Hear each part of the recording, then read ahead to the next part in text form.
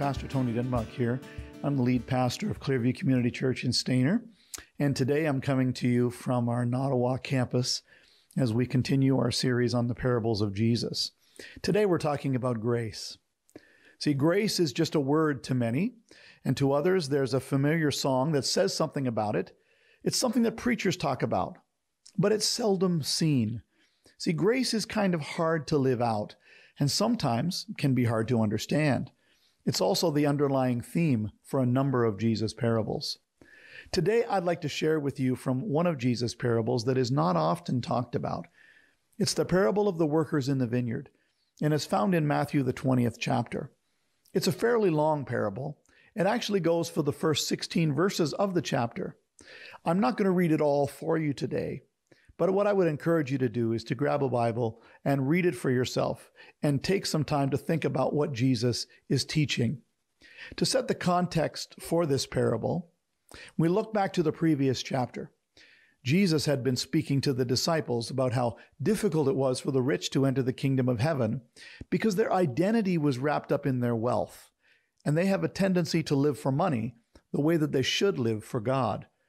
Jesus taught that the greatest commandment in all of Scripture was that we should love God with all of our heart, soul, mind, and strength. In Matthew 19, verse 27, we read that Peter answered him, We have left everything to follow you. What then will there be for us? What was Peter expecting? See, in his mind, he was thinking that because they had chosen to follow Jesus and leave everything behind, somehow that qualified them for a different level of heaven than others. After all, they had earned it, hadn't they? Jesus then goes on to say basically that all who follow him will find that God is faithful and will be rewarded far more than they could imagine. He then ends that chapter and introduces the parable with these words But many who are first will be last, and many who are last will be first. Now, with that in mind, we, we take a look at this parable. I'll read the first two verses and then I'll illustrate the rest. Matthew 20, verses 1 and 2 say this For the kingdom of heaven is like a landowner who went out early in the morning to hire workers for his vineyard. He agreed to pay them a denarius for the day and sent them into his vineyard. Now, a denarius was basically one day's wage in that day and age. Now, imagine that I'm a farmer like my grandfather was up on Poplar Side Road just outside of Collingwood. And I have a crop of tomatoes that's ready to be picked. And workers. At harvest time, you have no time to waste. So I'm out at 6 a.m. looking for people to help me collect my crop. I see an industrious guy who comes at first light because he just knows I'm going to be looking for someone. I negotiate with him and I tell him that quitting time is 6 p.m and I'll pay him $200 for his 12 hour day. He agrees and off he goes to work. He works hard too. At 9 a.m., I look up and there's somebody else who looks like they're looking for work. I go and talk to them and they agree to work for me. Quitting time is 6 p.m. He joins right in. And then something happens at 3 p.m. Somebody looking for work comes in and I make and I send him out. Finally, at 5 p.m., here comes another guy ready to work. I tell him that quitting time is 6 p.m. Start picking. Here's your basket. Now, finally, at 6 o'clock, the whistle blows and the day is ended. The workers gather around for their pay. Now, who worked the hardest? We'll start with the guy who worked for 12 hours. Obviously, he gets $200. He's happy with that because that's good money for a picker. But then I proceed to the guy who started at nine. He worked three hours less than the first guy. I give him $20 too. I pat him on the shoulder and I say, Well done. I go further down the line, and to each one I give exactly the same amount of money. One worked 12 hours, one worked nine hours, one worked six, one worked three, and the last one only one hour. But each get the same payment. Is that fair? Now, some people listening are, are talking to their screens. No, it's not fair. They're ready to organize a union and demand their rights. But you see, this parable is designed to reveal a truth about the kingdom of God and to also reveal the truth about our hearts. You see, the reality is that for some, no matter how much we talk about grace, deep down somewhere, we still feel like we're piling up brownie points. And when it looks or feels like someone's cutting in line, that bothers us. You see, we think that life should be fair. This is the scandal of grace. And grace, very simply, is the unmerited favor of God. I think that's why so many good people have a really hard time with grace. The bottom line is that for some of us, we just don't think that it's fair. Here's where a lot of people are missing a very big point. Romans 3:23 says that all have sinned. And Romans 6 and 23 says that the wages of sin is death. The bottom line is that in reality, none of us have actually earned anything. We couldn't. None of us deserves anything but death for the way that we have defied the God who made us. Each of us relies on the grace, the undeserved favor of God. Each of us are separated from God unless we take advantage of the ultimate price that Jesus paid for us on the cross. So when we get to the end of our lives as followers of Jesus, and we cross death's threshold, each of us comes face to face with Jesus. And each of us who have come to know him inherits eternal life. Verse 16 concludes the parable with So the last will be first, and the first will be last, the same way that Jesus began it. Now, like Jesus' other parables, there are different audiences who may take this different ways. For example, there's an application here for the nation of Israel as a whole. They were, after all, God's people. They were the children of Abraham. They were the ones through whom God had revealed himself and through whom Messiah came. Surely their place was special. Yet in the early days of the church, the good news of the gospel was received by the Gentiles too, the non Jews, and they were called children of God as well. But they hadn't been raised on the Torah. They hadn't been keeping the law. They didn't even know the law. How was this fair? Well, the last will be first, and the first will be last. It also had an application for the disciples. Jesus had called them by name. They had left successful businesses and left home to follow him. They would each face horrible persecution and would die as martyrs for simply declaring the truth. They had been with Jesus since he started declaring the arrival of the kingdom of God. So later, some of these would have a hard time accepting Saul of Tarsus as one of their own. He had actually persecuted the church, and now God was making him a leader in it? What was that about? Well, the last will be first, and the first will be last. As Paul himself would say, he was the chief among sinners, yet God chose him. It also has an application for the church. Some of the church your entire life. You absorbed Jesus through the environment in which you were raised, and you've been a Christ follower for as long as you can remember. That's awesome. There are others who have come desperately to Jesus at the end of lives that have been spent running from God. Surely, if God is fair, that person would not be eligible to receive the same gift of eternal life as the one who has been faithful for decades. Would they? Well, who said God was fair? See, God is just. And justice required that someone pay the price for the sin that separated us from God. Jesus paid that price. He died for the faithful church attender.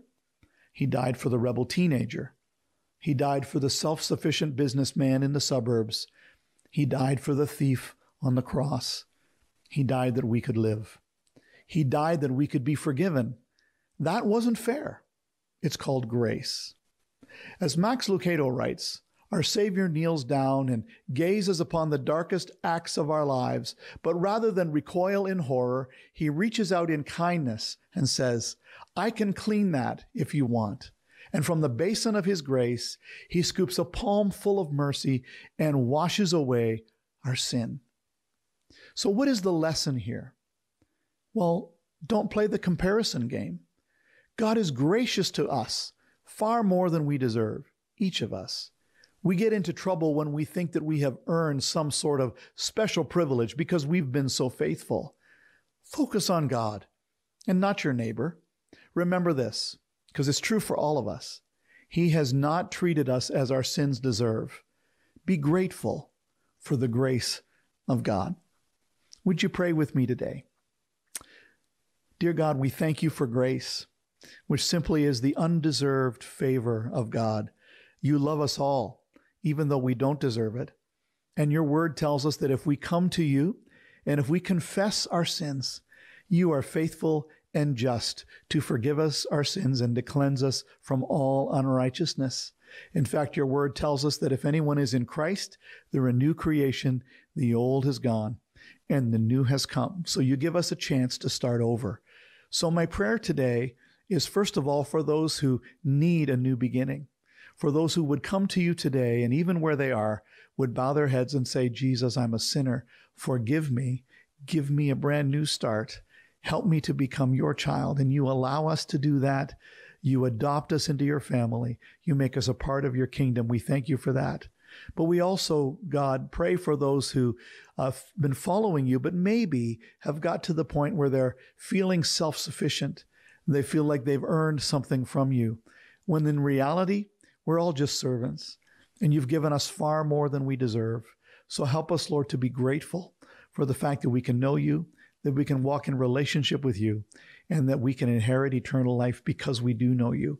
We thank you for your grace, for your mercy in our lives. In Jesus' name, amen. Amen. So go out from here as workers in God's upside down kingdom, where the last are first and the first are last, where needs are met in miraculous ways, and there is grace enough for all.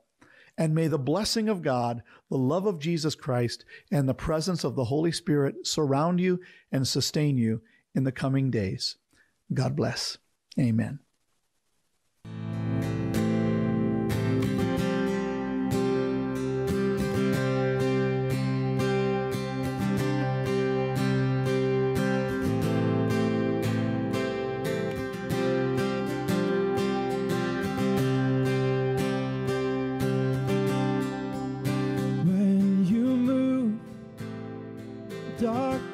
Runs for cover.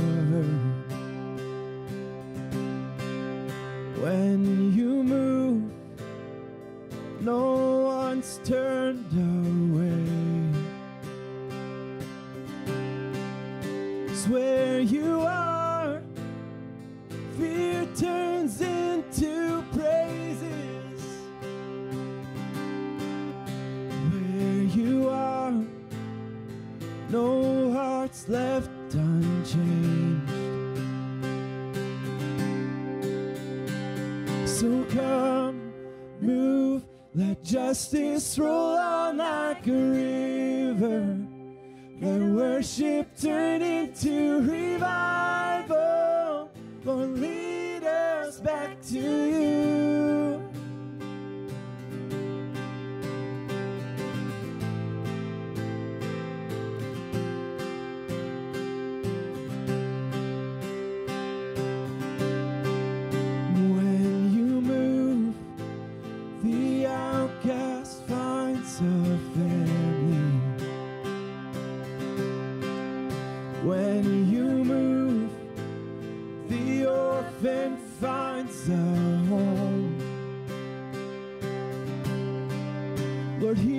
We so teach us to love mercy. With humble hearts, we bow down at your throne. So come, move, let justice roll on like a river. Let worship turn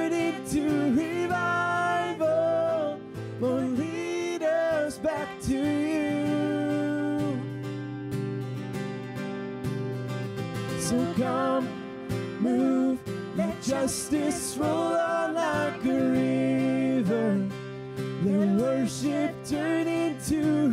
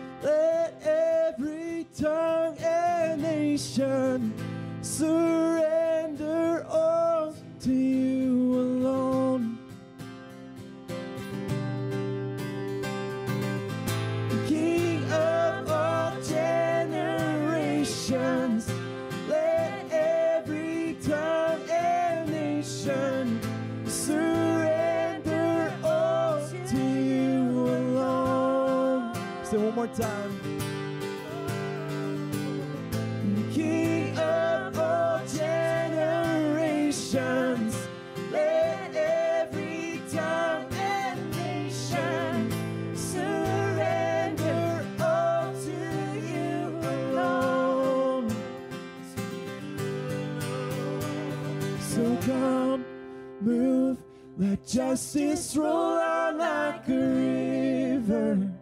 Let worship turn into revival. Lord, lead us back to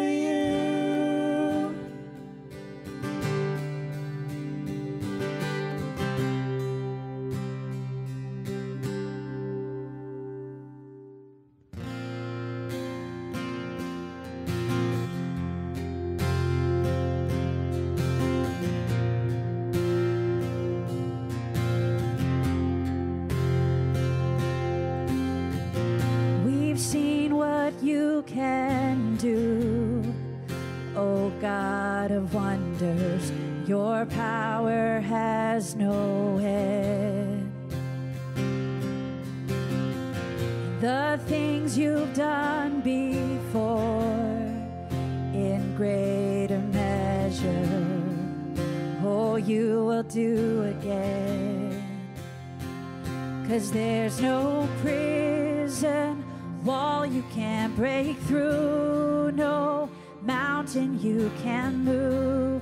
All are possible.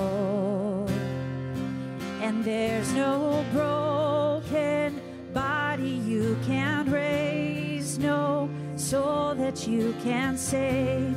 All things are possible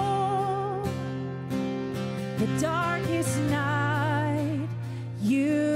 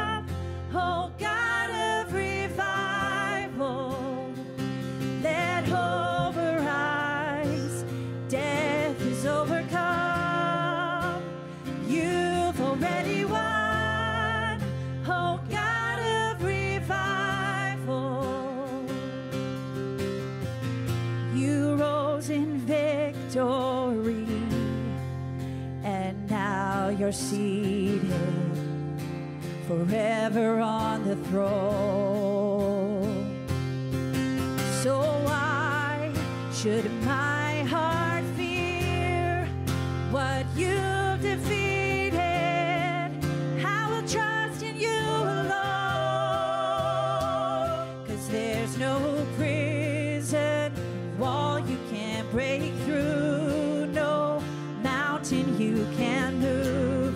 All things are possible. Oh, there's no broken body you can raise, no soul that you can't save. All things are possible. The darkest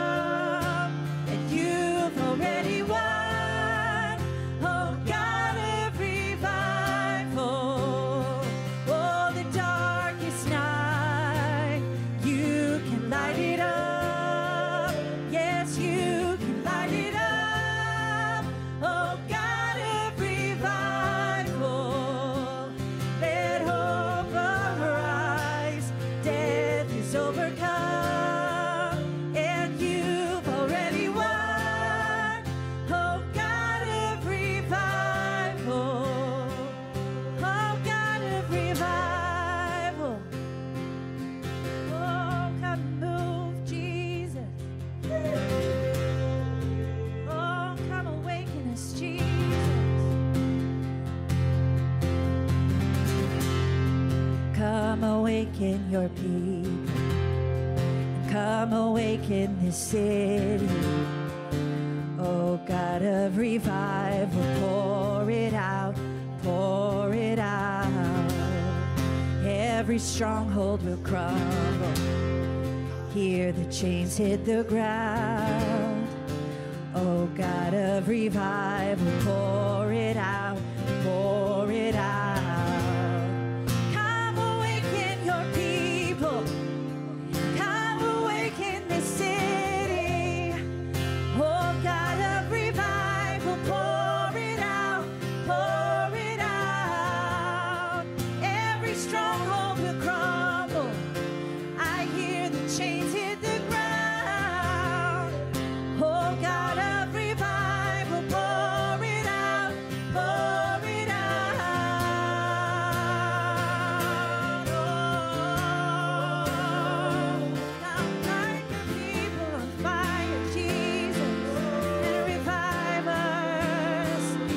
as the darkest night, you can light it up.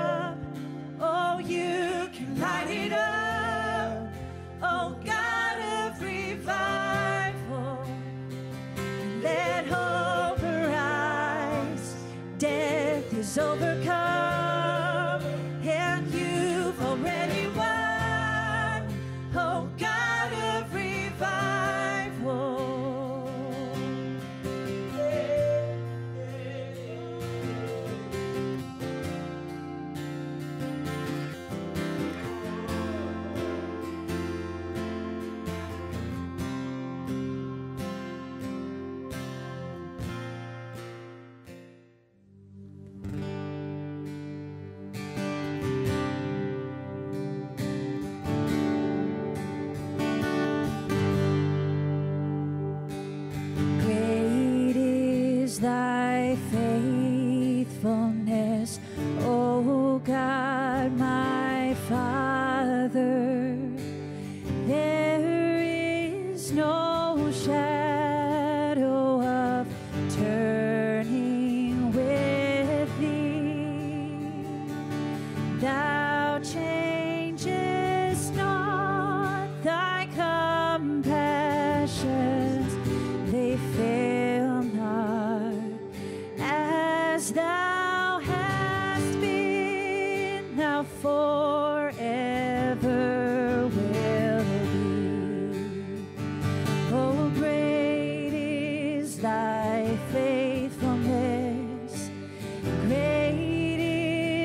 thy faithfulness.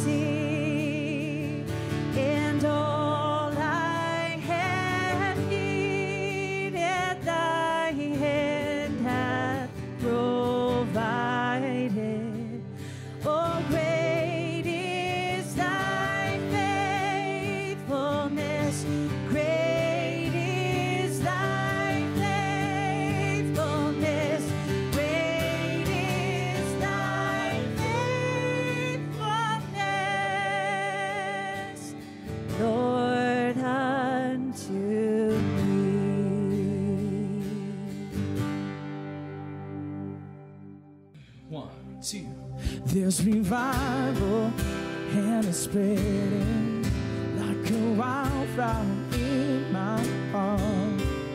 Sunday morning, hallelujah.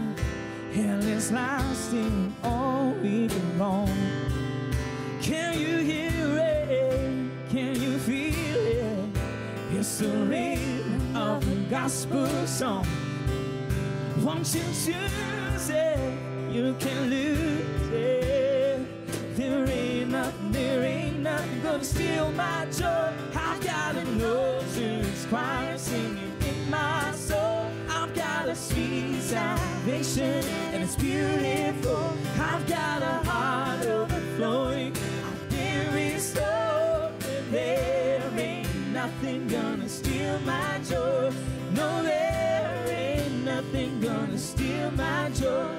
the valleys that I wander turn to mountains that I can't climb.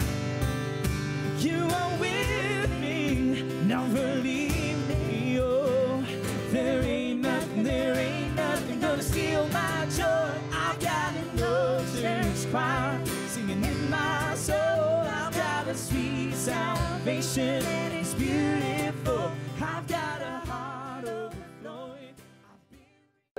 Call the Rogers TV viewer response line, email us, or connect with us on social media.